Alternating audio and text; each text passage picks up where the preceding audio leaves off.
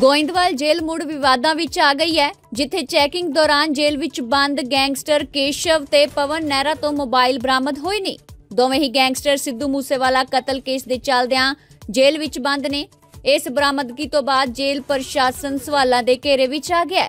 ਸਵਾਲ ਹੈ ਕਿ ਆਖਰ ਗੈਂਗਸਟਰਾਂ ਤੱਕ ਵਾਰ-ਵਾਰ ਜੇਲ੍ਹ ਅੰਦਰ ਮੋਬਾਈਲ ਕਿਵੇਂ ਪਹੁੰਚ ਰਹੇ ਨੇ ਜੇਲ੍ਹ ਪ੍ਰਸ਼ਾਸਨ ਦੇ ਚੈਕਿੰਗ ਪ੍ਰਬੰਧਾਂ ਤੇ ਸਵਾਲ ਉੱਠ ਰਹੇ ਨੇ ਕਿਉਂਕਿ ਪਹਿਲਾਂ ਵੀ ਜੇਲ੍ਹ ਦੇ ਵਿੱਚ ਗੈਂਗਸਟਰਾਂ ਕੋਲੋਂ ਮੋਬਾਈਲ ਮਿਲ ਚੁੱਕੇ ਨੇ ਤੇ ਹੁਣ ਇੱਕ ਵਾਰ ਫਿਰ ਤੋਂ ਬੈਰਕਾਂ ਦੀ ਤਲਾਸ਼ੀ ਦੌਰਾਨ ਮੋਬਾਈਲ ਮਿਲੇ ਨੇ ਫਿਲਹਾਲ ਜੇਲ੍ਹ ਪ੍ਰਸ਼ਾਸਨ ਦੀ ਸ਼ਿਕਾਇਤ ਤੇ ਮਾਮਲਾ ਦਰਜ ਕਰ ਲਿਆ ਗਿਆ ਸੋ ਵੱਡੀ ਖਬਰ ਗੋਇੰਦਵਾਲ ਜੇਲ੍ਹ ਦੇ ਵਿੱਚ ਚੈਕਿੰਗ ਦੌਰਾਨ ਜੇਲ੍ਹ ਵਿੱਚ ਬੰਦ ਗੈਂਗਸਟਰ ਕੇਸ਼ਵ ਤੇ ਪਵਨ ਨਹਿਰਾ ਤੋਂ ਮੋਬਾਈਲ ਮਿਲੇ ਨੇ ਜੋ ਕਿ ਸਿੱਧੂ ਮੂਸੇਵਾਲਾ ਕਤਲ ਕੇਸ ਦੇ ਚੱਲਦਿਆਂ ਜੇਲ੍ਹ ਵਿੱਚ ਬੰਦ ਨੇ